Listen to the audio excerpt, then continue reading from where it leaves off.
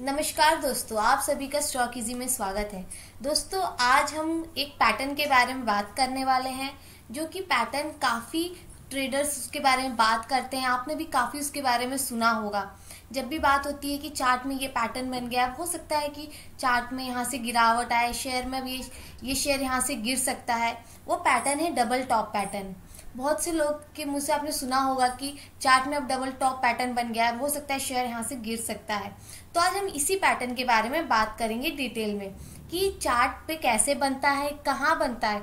और ये पैटर्न जब बनता है चार्ट पे तब उस चार्ट पे उसका क्या इफ़ेक्ट पड़ता है और क्या आप क्या देख सकते हैं? वो पैटर्न जब बनता है चार्ट में तो वहाँ से शेयर में क्या हो सकता है? बढ़त आएगी कि गिरावट आएगी? आज हम उसके बारे में बात करेंगे। तो डबल टॉप पैटर्न बनता कैसे है? पहले हम वो देखेंगे। डबल टॉप पैटर्न पहले ऊपर की ओर जाएगा। आप देख सकते हैं, पहले इसका ट्रेंड ऊपर जाएगा।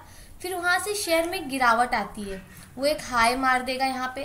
फिर रिटर्न थोड़ा सा उसमें गिरावट आएगी करेक्शन आएगा। रिटर्न प्राइस ऊपर जाएगा और कहाँ पे जाएगा? जहाँ पे इसने अपना ये पहला हाई मारा है, उसी प्राइस के आसपास जाके ये रिटर्न नीचे की ओर आ जाएगा ऐसे जब ये नीचे की ओर आ जाएगा, आप देख सकते हैं इधर कैसे इसने डबल टॉप बना दिया है। इसे कहते हैं डबल टॉप जब प्राइस ऊपर की ओर जाता है, उधर कहीं अपना समय व्यतीत करता है और फिर रिटर्न वहाँ से वो नीचे की ओर आता है। यहाँ पे फिर रिटर्न वो ऊपर जाता है और वो ज़्यादा ऊपर न जाके इसी प्राइस के आसपास रह के ट्रेड करके वो रिटर्न नीचे की ओर आ जाता है। तो फिर प्राइस जिस तरह आप देख रहे हैं कि यहाँ पे इसने ये ट्रेड किया हुआ है, इसे लोग डबल टॉप पैटर्न कहते हैं। और ये आपको चार्ट में एम वर्ड के जैसा दिखेगा। जैसे एम वर्ड हम लिखते हैं कैपिटल में, वैसे ही आपको एम के जैसा चार्ट में दिखेगा। जब ये टॉप पे बनेगा, ये बहुत ही क्लियरली दिखता है। जब आप चार्ट खोलेंगे, अगर कहीं पे डबल टॉप बना है तो आपको आराम से डबल टॉप दिख जाएगा।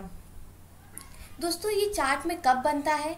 जब मार्केट काफ़ी अच्छा ट्रेंड कर रहा हो, काफ़ी अप ट्रेंड हो गया हो, और शेयर में काफ़ी बढ़त जब हो जाती है, जब इसके गिरने का वक्त हो जाता है, जब ज़्यादा बाइंग हो जाती है, ओवरबोट हो जाता है मार्केट तब ये ज़्यादातर अप ट्रेंड में ये ये जो पैटर्न है अप ट्रेंड में ही बनता है।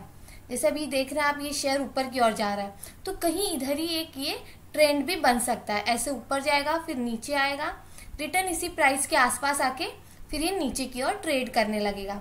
ये जो आप लाइन देख रहे हैं, इसको हम कहते हैं नेक लाइन ये एक होती है कन्फर्मेशन कि यहाँ पे डबल टॉप बन चुका है।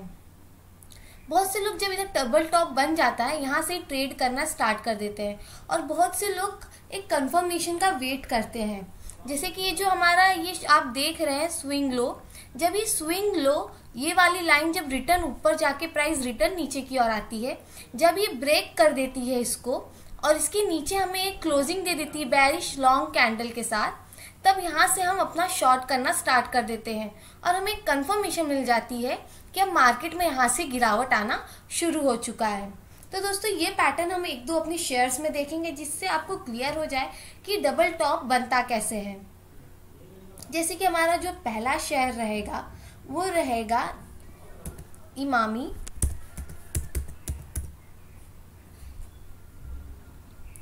इसके हम डेली चार्ट पे जाएँगे।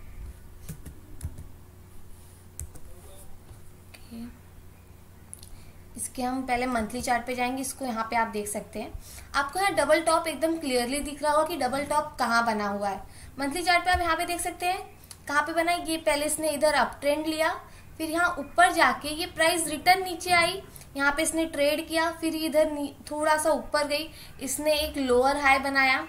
फिर प्राइस नीचे आई। रिटर्न ये कहाँ पे गई? टॉप के पास गई। जहाँ पे ये हमारा ये टॉप बना था, वहीं जाकर यहाँ से ये रिटर्न आई। आप यहाँ पे देख सकते हैं, यहाँ पे इसने हमारा जो लो था स्विंग लो वो यहाँ पे ब्रेक नहीं हुआ है। यहाँ पे जब ये रिटर्न डबल टॉप जब ये प्राइस ने बनाया हुआ है, उसके बाद से यहाँ पे हमें इधर ब्रेकआउट मिला है। उसके बाद आप देख सकते हैं, ये शेयर में किस तरह यहाँ पे आप देख सकते हैं, गिरावट आ चुकी है। तो जब भी जो डबल टॉप बनता है हमारे चार्ट पे, वो हमेशा अप ट्रेंड में बनता है। डबल टॉप बनने का मतलब ये होता है कि अब यहाँ से शेयर में एक गिरावट बन सकती है। आपको यहाँ पे सतर्क हो जाना है। अगर आपने उस शेयर में अपनी लॉन्ग की पोजीशन बनाई है तो आपको वहाँ से अपना स्टॉप लॉस को एकदम स्ट्रिक्ट कर लेना है कि अगर आपको, आपका वो जो शेयर है वो नीचे आने लगे तो जो आपका स्टॉप लॉस है, आपके मुनाफे को बचा ले। तो दोस्तों आज के लिए हम ही रुकते हैं। अगर इस टॉपिक से रिलेटेड कोई भी डाउट हो तो कमेंट करके ज़रूर पूछें अगर अभी तक आपने हमारे चैनल को सब्सक्राइब नहीं किया, तुरंत सब्सक्राइब करें। मैं आपसे जल्द मिलूँगी एक नए वीडियो में एक नए टॉपिक के साथ।